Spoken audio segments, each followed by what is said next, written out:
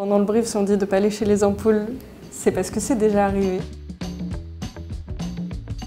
Et voilà, j'ai rendez-vous avec Julie pour découvrir son métier de Game Master chez Get Out. Déjà enchantée, moi je m'appelle Julie, je vais être votre Game Master pour cette partie, donc j'espère que vous êtes chaud patate. Moi je joue euh, un druide un peu farfelu, mais on a aussi un druide chanteur. Qu'est-ce que vous fichez là? On est les apprentis. Des apprentis? De Merlin. Des quoi? Des quoi? Les apprentis. Ah Enchanté, apprenti. Ah, vous faites très bien le rire, en tout cas. hein. Bon, dépêchez-vous. Bon, écoutez, sur ce, moi, je vous laisse. Des bisous Et à partir de là, du coup, on va dans la régie. Qui est juste à côté. Ouais, qui est juste ici. Moi j'adore ce que je fais, étant donné que c'est littéralement deux choses que j'adore, le jeu et puis, euh, et puis derrière le divertissement. Les études de Game Master, ça n'existe pas, de ce que je sais.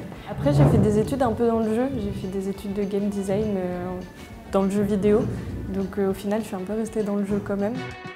J'ai fait qu'un seul escape avant de venir travailler ici. Donc euh, ça m'avait amusé, mais je dirais pas que c'était une passion non plus, c'est juste que je me suis dit que ce serait sympa. L'avantage du métier, c'est littéralement que c'est un métier qui sort un peu du commun. Euh, au final, on fait des choses un peu farfelues toute la journée.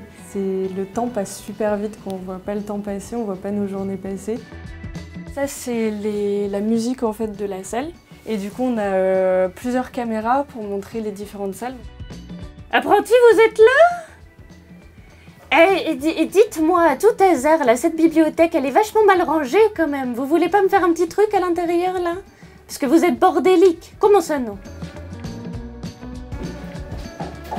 C'est un métier de loisir, donc du coup on n'a pas des horaires spécialement faciles, étant donné qu'on peut finir à 23h45 le soir. En, grossièrement, on travaille quand les gens travaillent pas. Voilà. Donc euh, c'est pas forcément facile pour voir des gens à l'extérieur, mais euh, derrière on a plein d'anecdotes à raconter. Et puis tu as vraiment ce côté de juste euh, rendre euh, les gens heureux, de faire quelque chose d'un peu différent de leur quotidien.